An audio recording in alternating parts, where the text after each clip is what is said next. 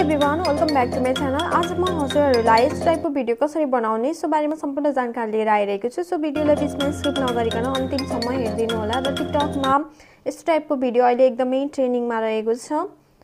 So फर्स्टमा क्यापकट एपलाई open गर्नुपर्ने हुन्छ र न्यू प्रोजेक्टमा क्लिक गर्नुपर्ने हुन्छ र आफ्नो छत्तिसवटा फोटोलाई चुज गर्नुपर्ने हुन्छ।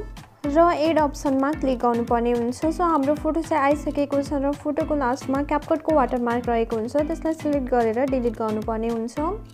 र अब चाहिँ हामीले आफ्नो फोटोमा एनिमेसन लगाउनु पर्ने हुन्छ। सो त्यसको लागि चाहिँ फोटोलाई सिलेक्ट गर्नुपर्ने हुन्छ र एनिमेसन अप्सनमा क्लिक गर्नुपर्ने हुन्छ र इन अप्सनमा क्लिक गरेर यहाँनिर हजुरहरूले जुम इन भन्ने एनिमेसन देख्न सक्नुहुन्छ। सो हजुरहरूले त्यसलाई चाहिँ चुज गर्नुपर्ने हुन्छ र त्यो एनिमेसनलाई फुल गर्नुपर्ने हुन्छ।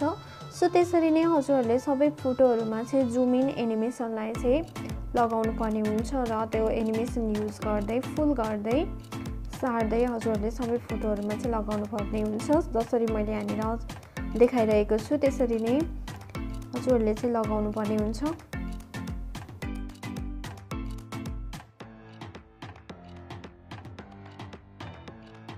सो फाइनली मैले आफ्नो सबै फोटोहरूमा एनिमेसन लगाइ पनि सकेँ। हजुरहरूले पनि यसरी नै एनिमेसनमा क्लिक गरेर इनमा क्लिक गरेर जुम इन भन्ने एनिमेसनलाई चाहिँ युज गर्न सक्नुहुन्छ। सो त्यस्तै गरेर हजुरहरूले आफूलाई मनपर्ने जुनसुकै एनिमेसन पनि युज गर्न सक्नुहुन्छ। यहाँनिर थुप्रै एनिमेसनहरू रहेको छ।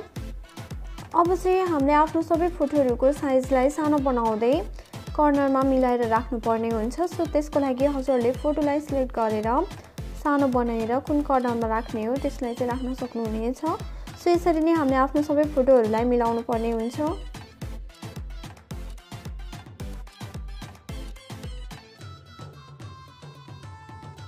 सो मैले आफ्नो सबै फोटोहरूलाई मिलाइ पनि सकेँ हजुरहरूले पनि यसरी नै मिलाएर राख्नुहोला।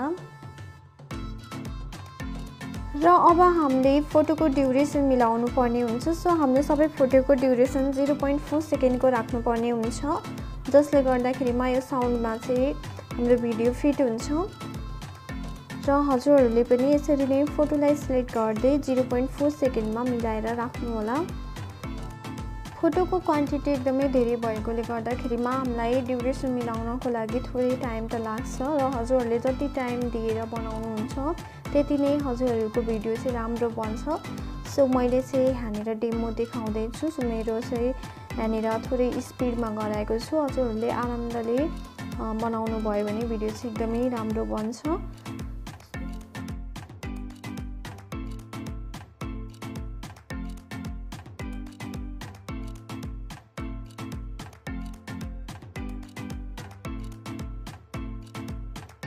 सो फाइनली मैले आफ्नो सबै फोटोको ड्युरेसनहरू मिलाइ पनि सकेँ। हजुरहरूले पनि यसरी नै सबै फोटोको ड्युरेसन मिलाएर राख्नुहोला र सबै फोटोको ड्युरेसन राख्दाखेरिमा जिरो पोइन्ट फोर सेकेन्डको राख्नुहोला।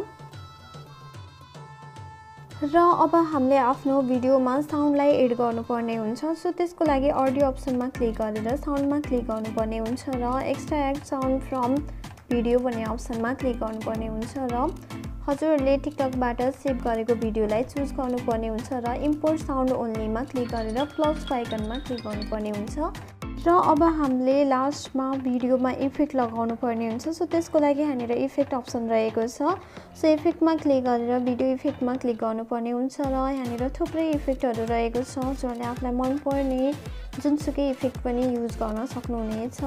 र मैले यो भिडियोमा ट्रेनिङमा रहेको फ्ल्यासिङ फ्रेम भने इफेक्टलाई युज गर्न गइरहेको छु र हजुरहरूले आफूलाई मनपर्ने जुनसुकै इफेक्टलाई पनि युज गर्न सक्नुहुनेछ। सो हजुरहरूले थोरै तलपट्टि डाउन गर्नुभयो भने त्यो इफेक्ट चाहिँ देख्न सक्नुहुनेछ र अब हामीले सबै भिडियोमा लगाउनको लागि यसलाई सिलेक्ट गरेर यहाँनिर कपी भन्ने अप्सन रहेको छ। सो हजुरहरूले त्यसमा क्लिक गर्नुभयो भने यसरी कपी हुँदै जान्छ र हाम्रो भिडियोमा इफेक्ट पनि आइसकेको छ। हजुरहरूले देख्न सक्नुहुन्छ भिडियो कति राम्रो बनिसकेको छ र यसरी रेडी भएको भिडियोलाई अब हामीले आफ्नो ग्यालरीमा सेभ गर्नुपर्ने हुन्छ। सो त्यसको लागि माथि रहेको एरो अप्सनमा क्लिक गर्नुपर्ने हुन्छ। र यहाँनिर थोरै टाइम लाग्छ र हाम्रो भिडियो चाहिँ ग्यालरीमा सेभ हुन्छ। सो फाइनली हाम्रो भिडियो ग्यालरीमा सेभ भइ पनि सकेको छ र यसरी सेभ भएको भिडियोलाई हजुरले आफ्नो टिकटकमा अपलोड गर्न सक्नुहुनेछ। सो आजको लागि यति नै। भिडियो कस्तो लाग्यो? मन परेमा लाइक कमेन्ट सेयर र सब्सक्राइब गर्न भने नभुल्नुहोला। Thank you so much bye see you